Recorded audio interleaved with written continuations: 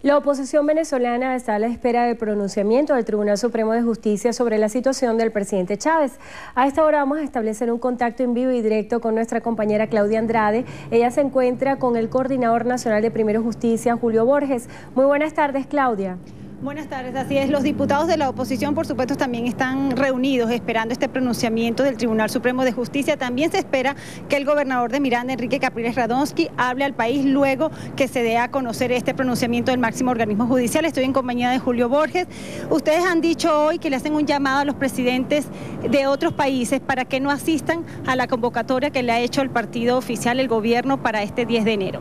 Sí, bueno, lo importante es que nosotros queremos reiterar que los problemas de los venezolanos debemos resolverlos los venezolanos, que no queremos injerencias ni de los Estados Unidos, ni de los cubanos, ni que vengan otros países a tratar de avalar temas internos ni de Venezuela ni temas internos del oficialismo.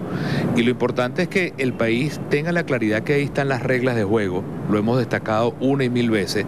Nosotros hemos dicho muy claramente que el presidente es presidente, venga mañana o no que lo que es una falta temporal del presidente de la República debido a su enfermedad, que él tiene el tiempo que quiera para mejorarse y para venir de vuelta, pero lo que sí tiene es que cumplirse la Constitución. Y la Constitución es muy clara. Mañana termina el gobierno del presidente Chávez y comienza otro gobierno del presidente Chávez. ¿Y qué esperan del TCJ?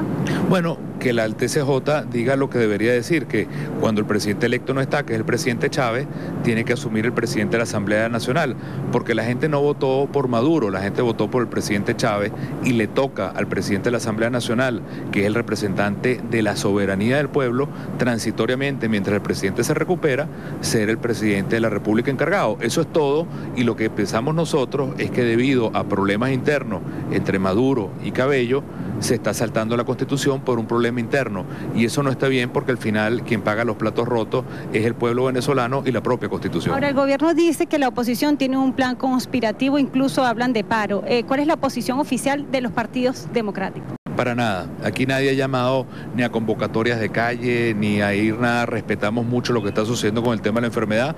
Nosotros hemos tenido tres puntos. Diálogo. Queremos diálogo con el gobierno. Queremos que se diga la verdad sobre lo que está pasando con el presidente y queremos que se cumpla la constitución. Esa ha sido nuestra línea siempre.